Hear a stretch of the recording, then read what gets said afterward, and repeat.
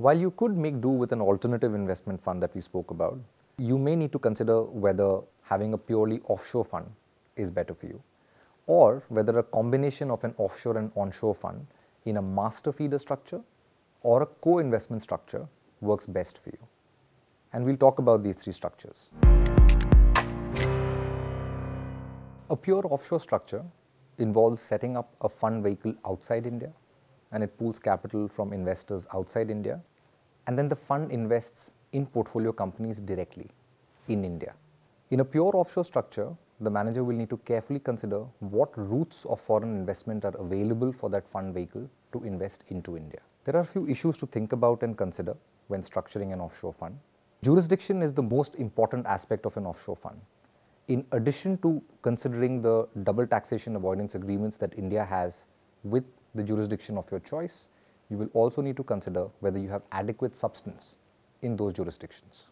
For offshore fund structures where key investment team members are in India, managers will also need to consider whether it leads to the risk of a place of effective management of the offshore fund being in India, because that comes with a tax risk to the offshore fund.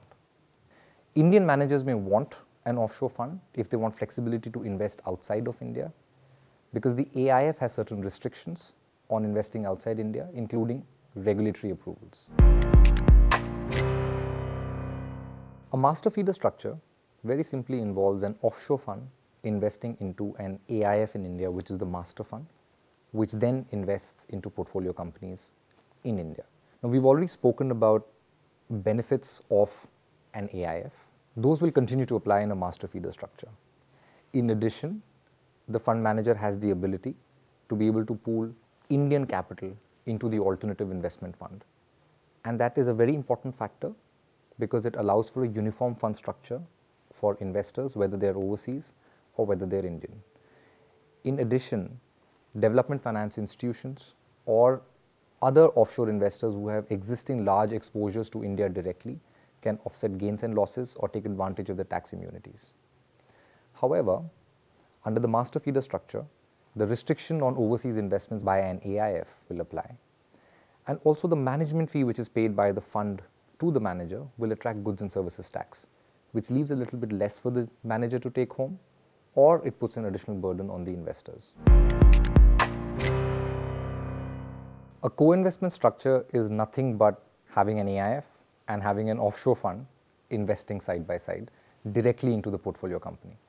Now, this structure was popular back in the day when the regulatory regime and the tax regime wasn't favorable towards Indian based funds. So, today, if you have two vehicles which are mimicking each other's investments, there could be some tax risks to that entire structure, which is why it is becoming less favorable. That said, there may be reasons why you want to have two different pools for example, where managers want to treat the two pools of capital differently, whether it's in terms of economics or governance. The general tone and tenor of the evolution of regulations for private funds seems to be geared towards manage in India, quite akin to the make in India push from the government from a few years ago. When it comes to considerations for fund structures, there is no one size fits all.